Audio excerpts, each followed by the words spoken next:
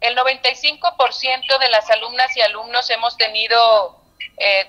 información por parte de directoras y directores de los planteles educativos para que se pudieran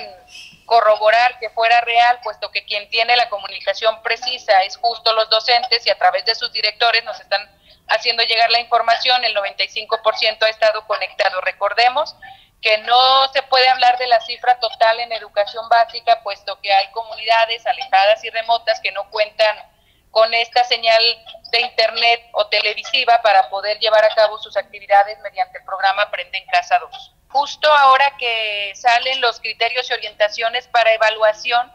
que fue la eh, en una entrevista pasada que les comentaba que son tres rubros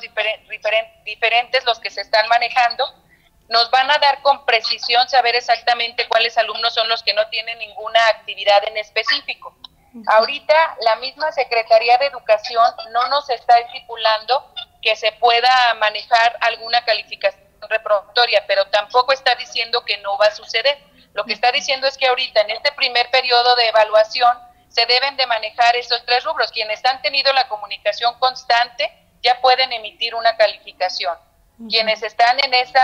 rubro de intermitente, pues van a poner que, que falta información. Quienes no han tenido un contacto, se pondría sin información, pero en cada uno de los periodos de captura de calificaciones esto se podría modificar, es decir, si ahorita se contacta al alumno, se tendría que trabajar para que el alumno pueda alcanzar a trabajar las actividades. ¿De, de qué manera? Comentarles que también ya tuvimos un contacto y comunicación directa con el subsecretario Marcos Bucio de la SEP,